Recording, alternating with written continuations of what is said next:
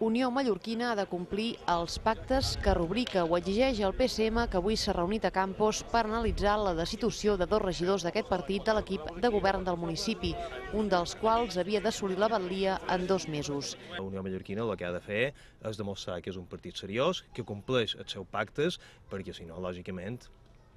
jo crec que ningú s'ho plantejarà pactar amb Unió Mallorquina en el futur. Això al temps que el secretari general del PSM ha insistit en què la seva formació no pensa, paraules literals, moure ni un mil·límetre el contingut dels pactes de governabilitat assolits l'any 2007 i de produir-se més situacions de ruptura no descarta rompre l'actual pacte de govern si bé confia no haver d'arribar en aquest extrem. No se descarta res perquè en aquests moments hi ha un partit que encara segueix incomplint els pactes que firma. La destitució dels dos regidors del PSM es produeix després de la retirada pactada de l'esmena del projecte de camp de golf de Sombaco a Campos que en defensava la seva construcció. El PSM apunta que darrere el cessament dels dos edils hi hauria la voluntat del Barla de Campos de mantenir-se al poder i de no voler cedir el càrrec a un dels regidors destituïts previst per a principis de 2010.